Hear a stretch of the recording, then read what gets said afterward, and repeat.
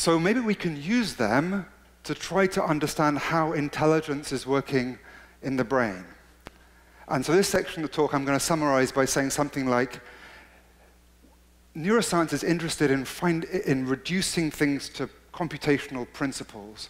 But with AI, we can see what those principles look like when they're confronted with the data of the world. And so we can see, we can, so we can see what they should look like in our neurons. Let me just give you one, one example of this, uh, and I'm going to take you back to this idea of intelligence as abstraction. I'm going to show you an example where that's true in your own brain, where, where there are cells that are really showing this abstraction uh, in your brain. And so let me just uh, give you this simple, uh, this, um, simple example. Imagine you're a mouse uh, looking for this cheese, having run down this tortuous path. Then the next time you want some cheese, if all you're doing is repeating the same, uh, is repeating good actions, uh, then you have to take the same tortuous path again.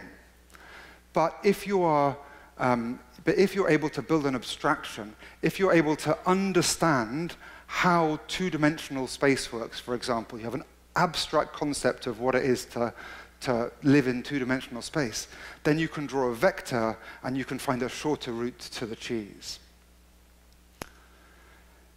Humans also can do this. In fact, interestingly, this ability varies across humans and also across cultures. Um, I'm just showing this slide. This is a lovely study from my friend Hugo Spiers. Um, I'm showing it because although the best people in the world at this, uh, this um, navigation ability are Finnish, uh, both um, the British and people and the and the Koreans are really right next to each other uh, right um, on, this, uh, on this, in this ability. But back to the brain. The reason you can do this is because of some cells in your brain. Here again is, that, is a rat, and what I'm showing you is two types of cell and when they send those messages. The cell in the middle is a place cell. It sends a message whenever the rat is in a particular place. For the purposes of today, it's a boring cell. But the cell on the right is amazing because it fires in lots and lots of places, and those places lie on a perfect grid. So whenever it passes any of those points on a grid, it sends a message saying, I'm on this grid. So that cell is an abstraction of 2D space, just like grid lines are on a, on a piece of graph paper.